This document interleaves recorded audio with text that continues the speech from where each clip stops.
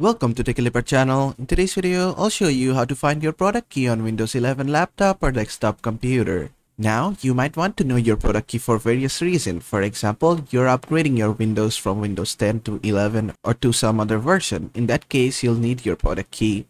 Now, to know your product key, what you need to do is just go to your search bar and type CMD. Then just click on Run as Administrator. Then click on Yes. Then just scroll down and go to the video description of this video. There, you'll find this command.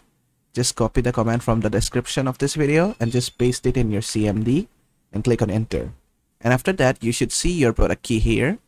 But some of you might not see your product key. As you see, I'm not seeing my product key here either. So just close this. If you don't see your product key here, what you need to do is just go onto your start button, just right click on it and click on run. From here, type regedit open up regedit click on yes. Then from here what you need to do is just minimize all these tabs.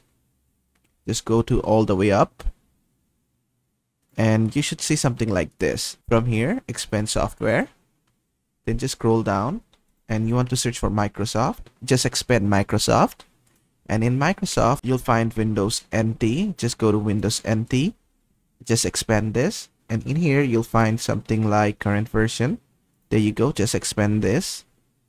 And in here you'll be looking for software software protection platform.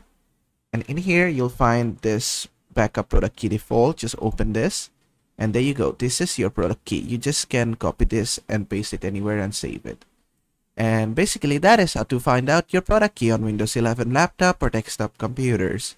I hope this video was helpful. If it was please give it a thumbs up and don't forget to subscribe